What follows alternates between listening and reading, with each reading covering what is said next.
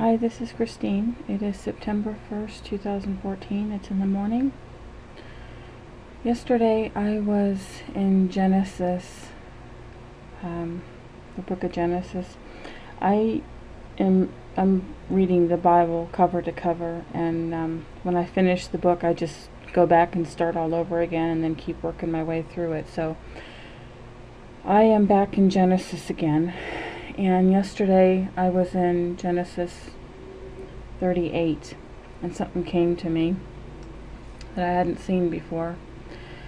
Um, this is about Tamar and Judah after Judah's wife dies. And it was told Tamar, saying, Behold, thy father in law, which is Judah, goeth up to Timnath to shear his sheep. And she put her widow's garments off from her and covered her with a veil, and wrapped herself, and sat in an open place which is by the way to Timnath. For she saw that Shelah, that's uh, Judah's third son, was grown, and she was not given unto him to wife. When Judah saw her, he thought her to be an harlot because she had covered her face. Okay, here's another one.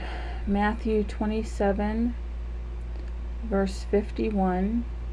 and behold, the veil of the temple was rent in twain from the top to the bottom, and the earth did quake, and the rocks rent. And then um, Luke 23, verse 45 And the sun was darkened, and the veil of the temple was rent in the midst. Okay, and then this is what else came to me when um, I was reading about Tamar. this is Second Corinthians 3, verse 12. And I think I might go all the way down to the bottom to verse 18. Seeing then that we have such hope, we use great plainness of speech, and not as Moses, which put a veil over his face, that the children of Israel could not steadfastly look to the end of that which was abolished, or which is abolished. But their minds being were blinded. For until this day remaineth the veil the same veil untaken away by the reading of the Old Testament, which veil is done away in Christ. But even unto this day, when Moses is read, the veil is upon their heart. Nevertheless, when it shall turn to the Lord, when a person's heart shall turn to the Lord, the veil shall be taken away. Now the Lord is that Spirit, and where the Spirit of the Lord is, there is liberty.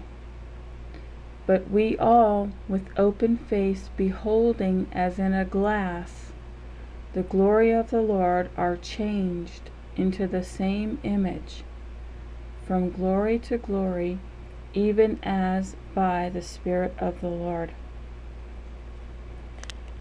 Okay, what came to me is if people have a veil still over their eyes or their heart where they can't see or understand or interpret the Lord or what He's trying to tell you. Okay, this is going to be, um, oh boy, kind of harsh. What came to me is Tamar, what I read at the beginning. She had a veil over her face, and Judah took her, thought she was a harlot. because a harlot apparently covers her face. I'm not talking about a wedding veil. I'm talking about a different kind. Tamar covered her face with a veil and pretended to be a harlot. And when Judah saw her with a covered face, with the veil over her face, he also thought she was a harlot. Guys, if you still have a veil over your face, over your eyes, where you can't see what the Lord's trying to tell you, and your heart still has a veil over it where you can't understand what He's trying to get through to you, you might still be a harlot with the world, with Babylon. God doesn't want a harlot for a wife, guys. He wants a virtuous virginess, a virgin woman.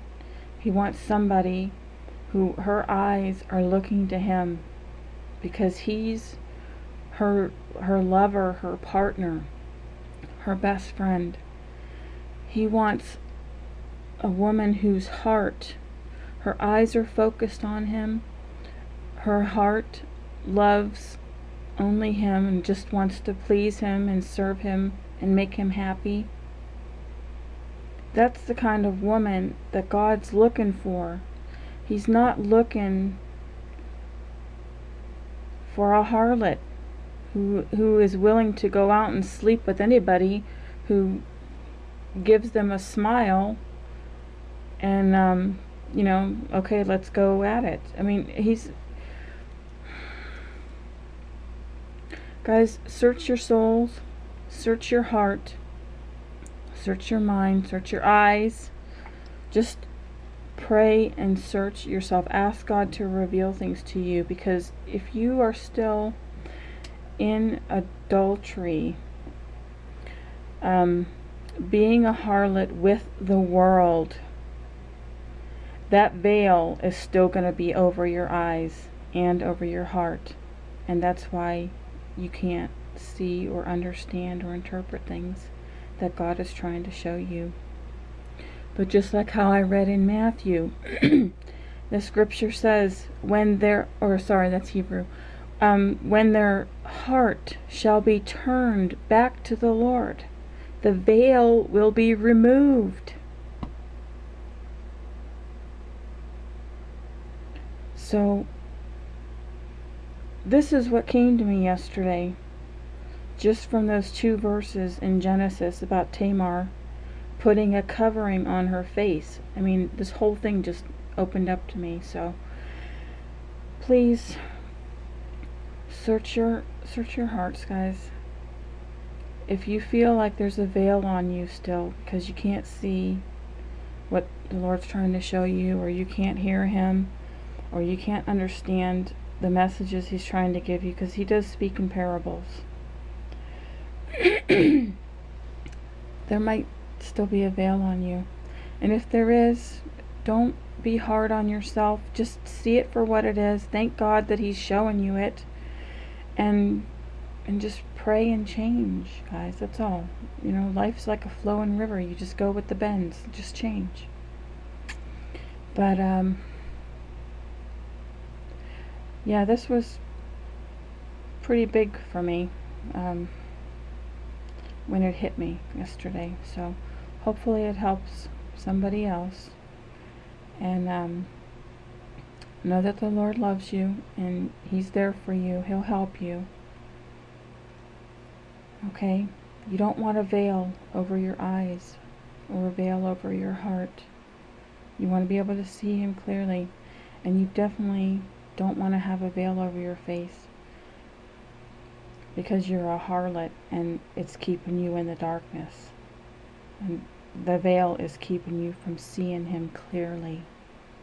You want the veil lifted so you don't look, you're not looking through a veil anymore, but you actually see Him for who He truly is. Okay, God bless and um, have a wonderful day and take care. Mm, bye bye.